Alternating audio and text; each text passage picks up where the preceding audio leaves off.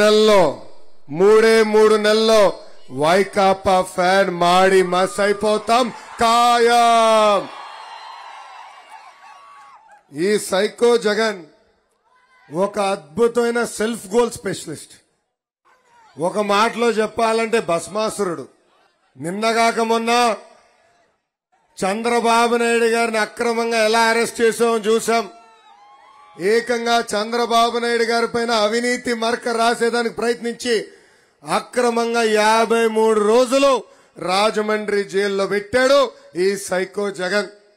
కానీ అది ఆయన జీవితంలో చేసిన అతి పెద్ద తప్పు. ఎందుకో నేను చెప్పాలి. అరెస్ట్ చేసిన తర్వాత ప్రజలందరికీ చంద్రబాబు నాయుడు గారి విలువేంటో అర్థమైంది. అంతేకాదు ఈ తరం యువతకి చంద్రబాబు నాయుడు గారి విజన్ ఏంటో అర్థమైంది. నలభై సంవత్సరాలుగా ప్రజలే ఆయన కుటుంబం అనుకుని అహర్నిశలు ప్రజల కోసం ఎంత కష్టపడ్డారో ఈ రోజు ఆంధ్ర రాష్ట్ర ప్రజలందరికీ అర్థమైంది. చివరిగా ప్యాలెస్ బ్రోకర్ ఒకడు ఉన్నాడు. వాడి పేరు సజ్జల.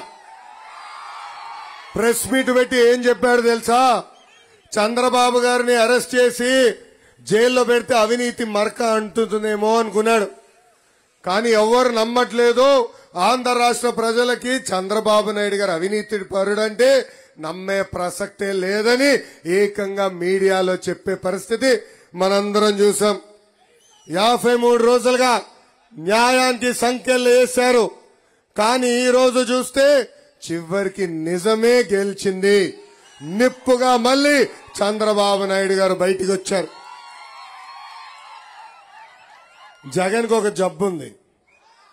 ఆ జబ్బు ఏంటో తెలుసా? రాత్రి ఆత్మలతో మాట్లాడే జబ్బు. ఒక ఆత్మతో మాట్లాడాడు. ఆ ఆత్మ ఎట్టి పరిస్థితుల్లో చంద్రబాబు నాయుడు గారు ఇంకో పక్కన పవన్ అన్న చేతులు కలపకూడదనింది. విశ్వ ప్రయత్నాలు చేశాడు. కానీ చివరికి ఆయన ఏదైతే కోరారో అది జరగకుండా చేశారు పవన్ అన్న. ఆనాడు రాజమండ్రి జైలుకు వచ్చి చంద్రబాబు నాయుడు గారు చూసి బాధపడి లేదు కలిసి గట్టిగా ఇరవై నాలుగు ఎన్నికల్లో పోరాడదామని చెప్పి బయటకొచ్చి ఆనాడే పొత్తు ప్రకటించిన వ్యక్తి పవన్ అన్న. ఈ సభాముఖంగా ఈ సభాముఖంగా చెప్తున్నా ఇరవై ఇరవై నాలుగు ఎన్నికల్లో తెలుగుదేశం పార్టీ జనసేన పార్టీ కలిసి ఆంధ్ర రాష్ట్రంలో ప్రభుత్వం ఏర్పాటు చేస్తాం. ఖాయం! సైకో జగన్ చెప్తున్నా బాంబులకే భయపడే కుటుంబం మాది కోర్టులో జైలుకి మేము భయపడతామా? అసలు భయం మా బ్లడ్లోనే లేదు మై డియర్ జగన్! యువగలం ఆపేదానికి సైకో జగన్ అనేక ప్రయత్నాలు చేశారు. పాపం పోలీస్ సోదరులకి రాజారెడ్డి రాజ్యాంగం ఇచ్చి లోకేష్ అడ్డుకోమన్నారు. నేను అంబేద్కర్ గారు రాసిన రాజ్యాంగం పట్టుకుని సమాధానం చెప్పా.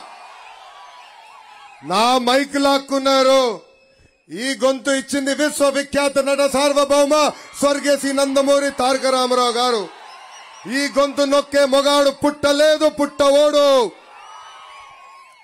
ఈ పిల్ల సైకోలు వచ్చి కోడిగుడ్డు వేస్తే పసుపు సైన్యం ఆమ్లెట్ వేసి రిటర్న్ గిఫ్ట్ ఇచ్చారు. జగన్ ఆపితే ఆగిపోయేదానికి నేను ప్యాలెస్లో సలహాదారుని కాదు. ప్రజల్లో ఒక్కడిని ఆంధ్ర యువకుడిని చిత్తు చిత్తుగా జగన్ని తరిమే వరకు నేను పడుకోనని ఈ సభాముఖంగా ఆంధ్ర యువకులకి నేను హామీ ఇస్తున్నా. జగన్ పని అయిపోయింది.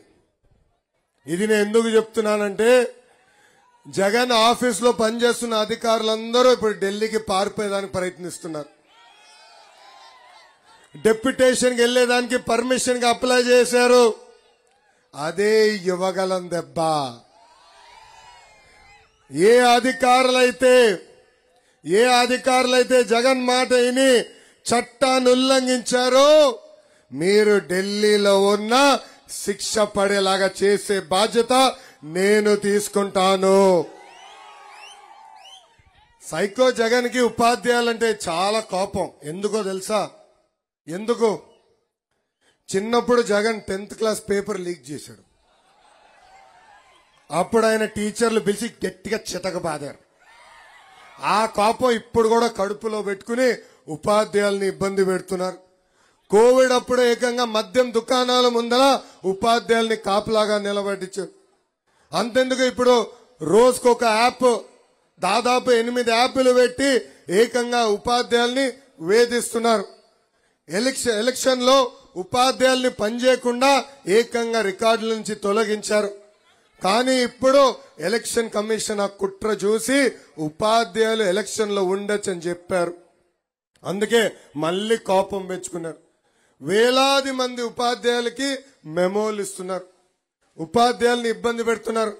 పాపం మెమోలు వచ్చిన ఉపాధ్యాయులకి ప్రమోషన్ గాని రాబోయే రోజుల్లో ఫిట్మెంట్కి ఇబ్బంది పడతారు. అందుకే ఉపాధ్యాయులు చెప్తున్నా మూడు నెలలు ఓపిక మన ప్రభుత్వం రాబోతుంది. మిమ్మల్ని ఆదుకునే బాధ్యత మేము తీసుకుంటాము. ఇప్పుడు మేము మీ అందరినీ ఒక చిన్న క్విజ్ పెట్టాలనుకుంటున్నా. సిద్ధంగా ఉన్నారా? సిద్ధంగా ఉన్నారా? సైకో జగన్ రోజు ఏమి తాగుతాడు? మొదటి ఆప్షన్ బూమ్ బూమ్. రెండో ఆప్షన్ ప్రెసిడెంట్ మెడల్. మూడో ఆప్షన్ ఆంధ్ర గోల్డ్. నాలుగో ఆప్షన్ ప్రజల రక్తం. ఏ ఆప్షన్? చేతులెత్తి చూపించండి. నాలుగో ఆప్షన్. ఈరోజు రోజు రోజు ఎవరైనా క్వార్టర్ బాటిల్ తాగితే సరాసరి దేవుడి దగ్గరికి వెళ్ళిపోయే పరిస్థితి. ఆ క్వార్టర్ బాటిల్ ఉన్న మద్యం విషం కన్నా ప్రమాదకరం. జే ట్యాక్స్ ద్వారా ప్రతిరోజు క్వార్టర్ బాటిల్ తాగే వ్యక్తి దగ్గర నుంచి రోజుకి ఇరవై ఐదు రూపాయలు కప్పం కట్టించుకుంటున్నాడు ఈ సైకో జగన్. అంటే నెలకి ఏడు వందల యాభై రూపాయలు. పన్నెండు నెలల్లో తొమ్మిది వేల రూపాయలు కప్పం కట్టించుకుంటున్నాడు. అంటే ఐదు సంవత్సరాల్లో నలభై ఐదు వేల రూపాయలు రోజు క్వార్టర్ బాటిల్ తాగే వ్యక్తి దగ్గర నుంచి ఈ సైకో జగన్ జే ట్యాక్స్ కట్టించుకుంటున్నాడు. నేను ఇది తెలుసుకున్న తర్వాత ఒక క్వార్టర్ బాటిల్ ఒక కంపెనీకి పంపించా. దాంట్లో ఏం వేశారో చెప్పండి అని. వాళ్ళ రిపోర్ట్లో ఏం చెప్పారో తెలుసా? పొలంలో పురుగు మందు కొడితే పని చేస్తుందో లేదో తెలియదు కానీ ఈ మందు మటుకు కొడితే పురుగులన్నీ పారిపోతాయి. అలాంటి విషమైన క్వార్టర్ బాటిల్ అమ్మి ఈరోజు పేద ప్రజలు పొట్టగొట్టి బతుకుతున్నాడు ఈ సైకో జగన్. వేలాది మంది తెలుగింటి ఆడబడుచులు పసుపు కుంకలు చేర్పిన వ్యక్తి ఈ సైకో జగన్. ఈ పాపం నిన్ను నిన్ను ఊరికే వదలబెట్టదని ఈ సభాముఖంగా సైకో జగన్కి నేను చెప్తున్నా.